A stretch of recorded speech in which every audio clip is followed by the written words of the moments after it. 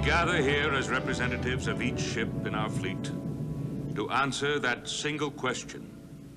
Where will we go? Our recorded history tells us that we descended from a mother civilization, a race that went out into space to establish colonies. Those of us here assembled now represent the only known surviving colonies, save one. A sister world, far out in the universe, remembered to us only through ancient writings. It is my intention to seek out that remaining colony, that last outpost of humanity in the whole universe. Commander Adama, this 13th colony, this other world, where is it and what is it called?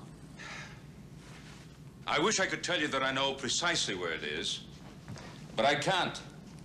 However, I do know that it lies beyond our star system, in a galaxy very much like our own, on a planet called Earth.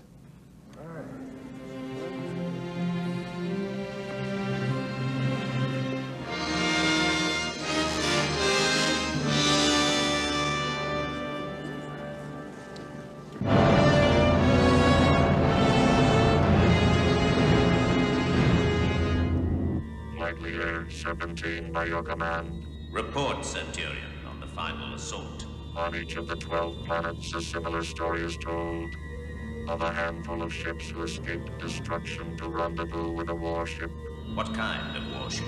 a battlestar called Galactica. Then go and seek out Baltar. Tell him I am displeased. Tell him I offer a choice. Deliver the Battlestar Galactica.